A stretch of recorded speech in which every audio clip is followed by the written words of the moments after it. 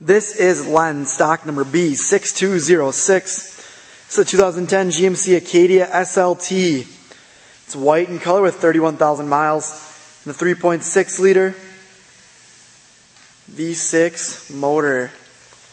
Very clean front end as you can see.